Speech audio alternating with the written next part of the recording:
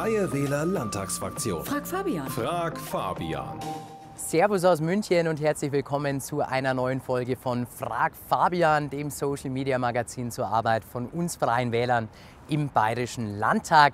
Heute mal von vor dem Bayerischen Landtag, dem Maximilianeum, dem Gebäude unseres Parlaments, mit einem wunderschönen Blick über München und dem historischen Gebäude in meinem Rücken. Deshalb, weil es heute so wunderschön weiß-blau Wetter ist über der Landeshauptstadt und weil durch die Rücknahme der Corona-Beschränkungen jetzt ja auch wieder etwas mehr Freiheit und ein bisschen gemeinsames Draußensein möglich ist. Um dieses Thema geht es auch in der Frage der heutigen Folge. Die kommt nämlich vom Andi aus Kelheim.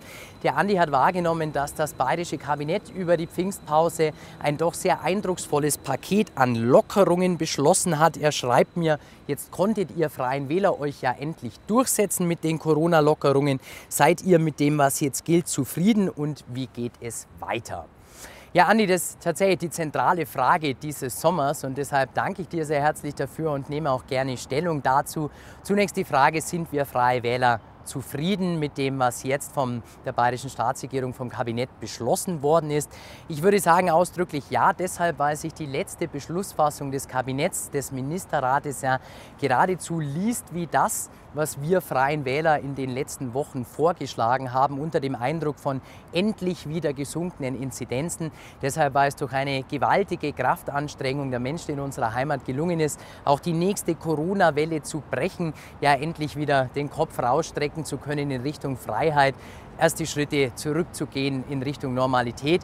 Das haben wir Freien Wähler uns, das glaube ich, konnte jeder zur Kenntnis nehmen, sehr gewünscht. Jetzt geben die Zahlen das auch her und deshalb konnten wir uns jetzt auch mit unseren entsprechenden Forderungen auf Ebene des Kabinettes durchsetzen. Also ja, wir sind sehr zufrieden.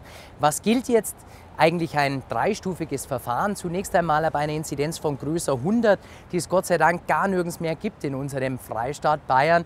Die Bundesnotbremse, bekannt, wir Freien Wähler haben dagegen geklagt. Wir sind nach wie vor der Auffassung, auch bei Inzidenzen größer 100 können wir hier im Bayerischen Landtag am allerbesten entscheiden, was gut für die Menschen in unserer Heimat ist und brauchen keinen Oberschiedsrichter aus Berlin. Trotzdem hat der Bundesgesetzgeber das in Kraft gesetzt, also bei Inzidenzen größer 100 würde noch bis Ende Juni und ich hoffe, dass das dann ausläuft, die Bundesnotbremse gelten. Für alle Inzidenzen drunter sind wir in Bayern zuständig. Da haben wir jetzt den Katastrophenzustand wieder zurückgefahren und eigentlich nur noch zwei Inzidenzgrenzen eingeführt.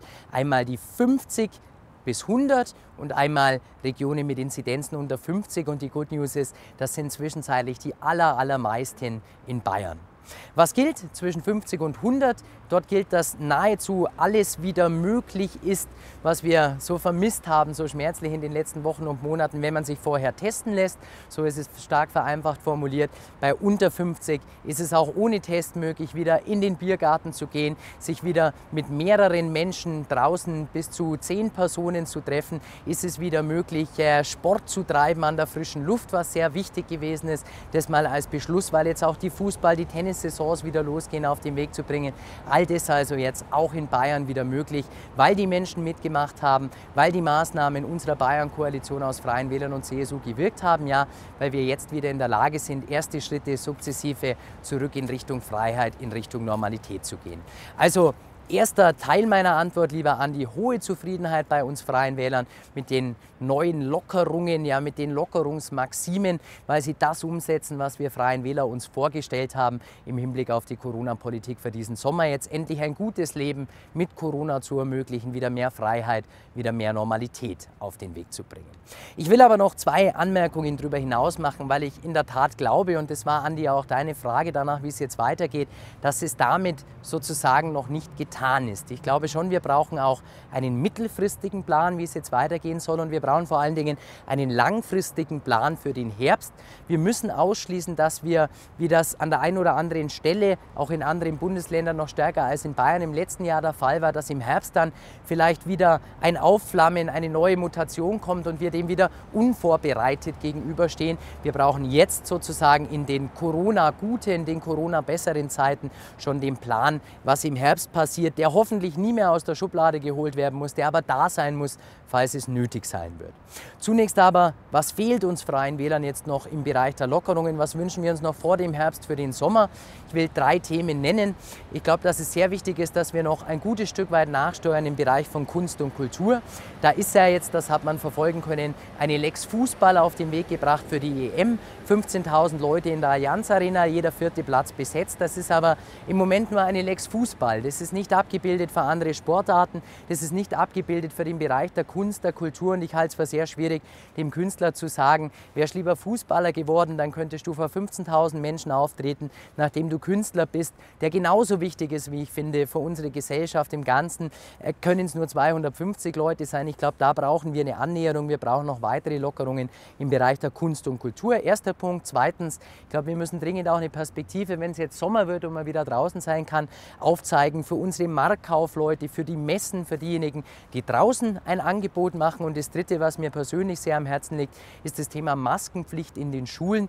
Da haben wir im Moment ja jetzt beispielsweise in der Grundschule die Situation, dass unsere Kleinsten zwar zweimal die Woche getestet werden, aber trotzdem in der Schule am Platz und vor allen Dingen auch draußen auf dem Pausenhof die Maske tragen müssen, führt zu absurden Situationen. Man spielt dann Fußball im Sportunterricht ohne Maske in der Sporthalle mit Körperkontakt, muss anschließend auf dem Pausehof die Maske wieder tragen und am Nachmittag kann man dann mit den Freunden ins Kino gehen und braucht es wieder nicht. Das sind Strukturbrüche, die wir dringend auflösen müssen, wenn wir schaffen wollen, dass die Menschen auch auf dem weiteren Weg, wenn es jetzt auch leichter wird, noch gut mitmachen, um dieser Pandemie endlich final die Stirn zu bieten. Deshalb also diese drei Punkte, Kunst und Kultur, alles was draußen stattfindet im Sinne der Marktkaufleute, dessen, was draußen passieren soll und das Thema Maskenpflicht in der Schule. Da glaube ich, ist es jetzt auch, wie die Stadt Augsburg das für den öffentlichen Raum schon gemacht hat, an der Zeit darüber nachzudenken, wie man das sukzessive mindestens am Platz in der Schule und für die Kleinsten in der Grundschule wieder zurücknimmt aus Sicht von uns freien Wählern.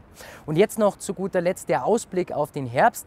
Da glaube ich, sind wir wirklich gut beraten, uns schon jetzt die klugen Gedanken zu machen, entsprechend vorzusorgen für das, was im Herbst hoffentlich nicht mehr einschlägig wird, weil die Durchimpfung dann hoch ist. Bis dahin weiter impfen, impfen, impfen. Bis dahin weiter an den Therapiestrategien forschen, aber uns auch retrospektiv diesen Brennglaseffekt, den Corona uns vor Augen geführt hat, vor Augen führen, wahrnehmen, dass in einer Krise auch eine Chance ist und lernen.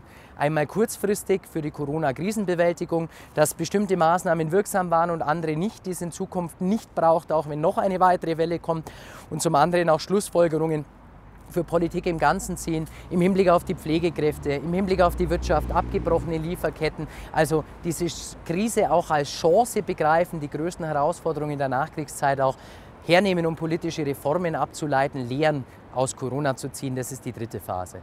Erste Phase also zusammenfassend, lieber Andi, hohe Zufriedenheit mit den aktuellen Beschlüssen des Kabinetts. Da haben wir Freie Wähler uns durchgesetzt. Zweite Phase, jetzt noch nachsteuern, wo es Strukturbrüche gibt, nachdenken über die Rücknahme der Maskenpflicht am Platz in den Schulen, mindestens mal bei den Kleinsten, gerne jetzt auch schon sofort und vor den Sommerferien, bevor es dann im nächsten Schuljahr hoffentlich wieder in den Normal- und Präsenzbetrieb geht an den Schulen und dann in einer dritten Phase in Ruhe auf diese Zeit blicken, lernen aus Corona ableiten und uns rüsten für den Herbst, falls wir noch nicht durch wären, falls noch mal was kommt, dass Maßnahmen, die wir uns sparen hätten können im Nachhinein, dann auch gar nicht mehr in Kraft gesetzt werden.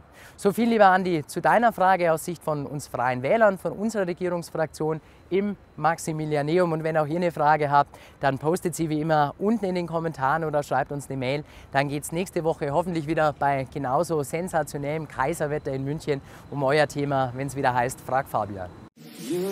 Freie Wähler Landtagsfraktion. Frag Fabian. Frag Fabian.